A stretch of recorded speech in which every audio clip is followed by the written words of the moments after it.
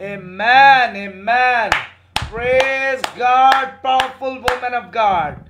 I just uh, touched uh, through your prayer and I just uh, see light uh, through your prayer uh, when you was praying and uh, I was just um, thinking God just touching many people through this prayer, a powerful prayer, and I I believe that today people just healed and blessed uh, through your prayer, uh, powerful prayer. So, woman of God, before leaving, I just want to ask you, ask you, uh, a last words. What would you like to say?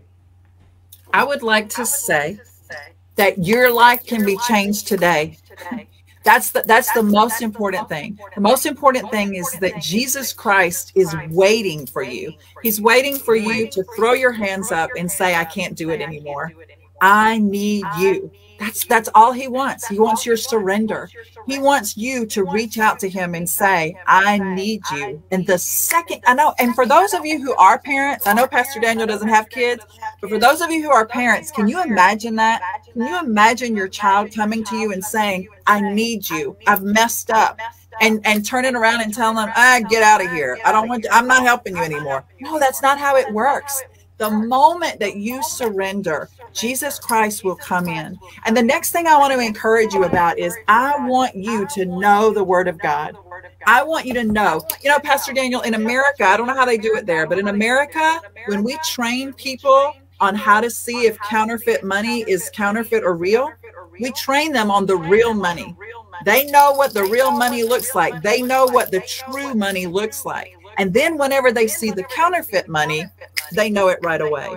And that's the point. If we know what the word of God says, then when somebody offers us tarot cards or somebody offers us witchcraft or somebody offers us crystals or somebody says here here's how you get the answers come worship satan with me or, or an altar or energy or yoga all of a sudden you can say wait a minute that's not the truth so my biggest, my biggest, biggest heartache today is know the truth.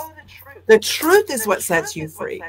The truth is what will connect you. Yeah, the truth is what will connect you with God.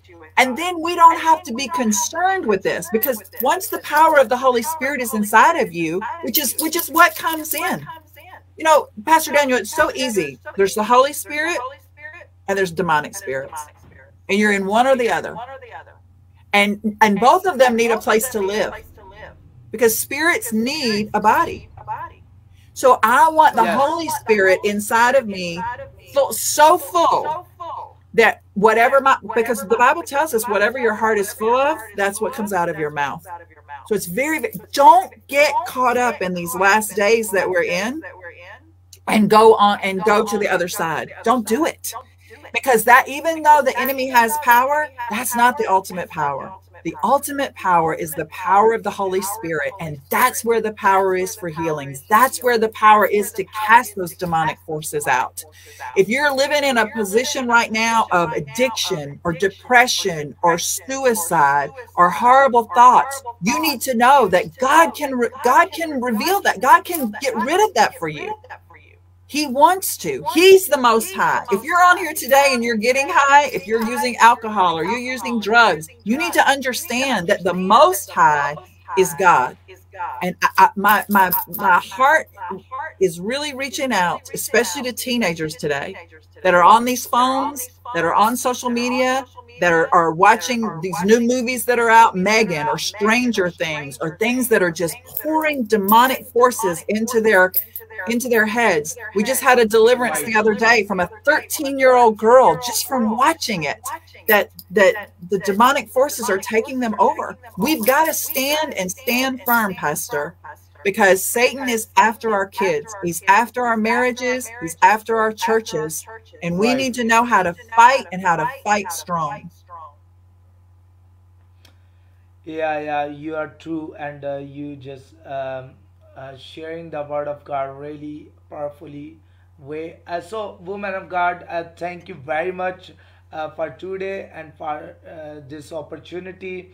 You just um, uh, take time to spend with us, and I believe that uh, through this uh, broadcast you are blessed too. So, uh, uh, woman of God, we will see you again, um, and I will I I will uh, just um, see you again and invite you uh, um, uh, another show.